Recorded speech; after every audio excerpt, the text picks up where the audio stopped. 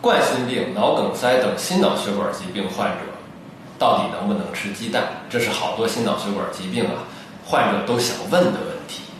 之所以大家有这个疑问呢，主要是因为啊，得了心脑血管疾病之后啊，从不同的渠道，包括医生啊、啊护士啊、医护人员，包括科普上都说要少吃高胆固醇的食物，而鸡蛋当中的蛋黄富含胆固醇。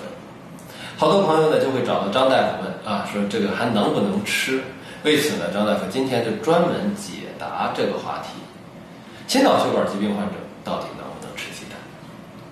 应该说呢，呃，冠心病啊、脑梗啊这些患者呢，只要病情稳定、控制的好啊，吃鸡蛋是没有问题的。但是，他的确需要是注意量，就是别过多的吃。如果说你一天吃七八个鸡蛋，这么多的鸡蛋摄入，这个蛋黄也都吃进去。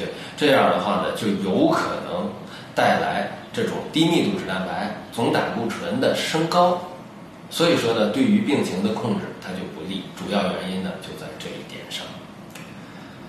实质上来说，关于吃鸡蛋这个话题，咱们前头也给大家多次的科普过。它呢由来已久，大家对它有疑问呢，在于说，比如说啊，在二零一三年之前啊。这个医学界，包括美国的医学界，包括膳食指南，就是建议大家呢，呃，胆固醇摄入量啊，每天三百毫克，心脑血管疾病患者适度减少到二百毫克。这样的话呢，一个鸡蛋一个蛋黄的胆固醇含有的这个量呢是一百五十毫克。所以说，当时的科普基本上建议，心脑血管疾病患者一天吃一个鸡蛋，而这个呃普通人呢可以一到两个。但是这个科呃科普的当时的这些资料呢，忽视一个问题，就是胆固醇的吸收。因为你说一个蛋黄含有一百五十毫克的这个胆固醇，它都能吸收吗？它还有存在一个吸收的问题进入肠道。所以说，当时说吃一个鸡蛋也不是很严谨。到后来到了二零一三年的，这个英国一个大型实验啊，当时就发表说说是多吃鸡蛋也没有提升心脑血管疾病发病率。于是到了二零一五年呀。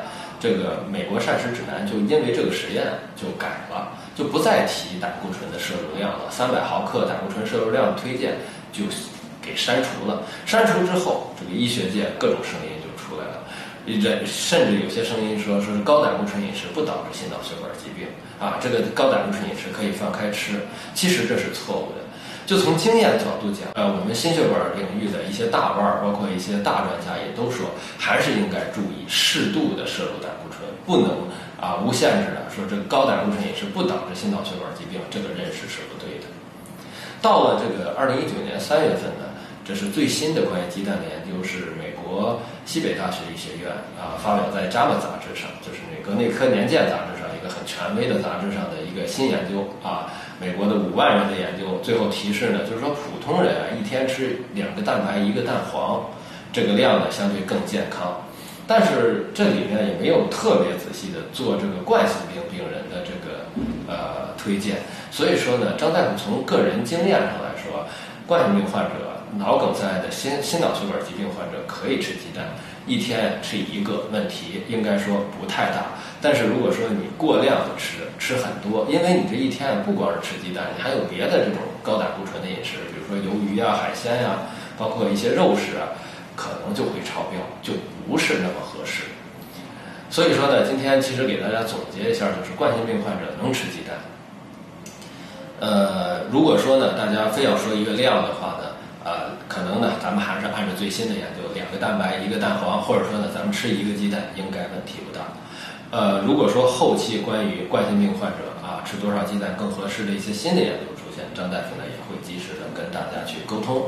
呃，希望今天这期视频呢，能够帮到手机前面的您，能够让那些冠心病、脑梗、心脑血管疾病患者啊，解除心中的疑虑。如果大家觉得好，也可以转给亲朋好友。关注健康，关注张志大夫。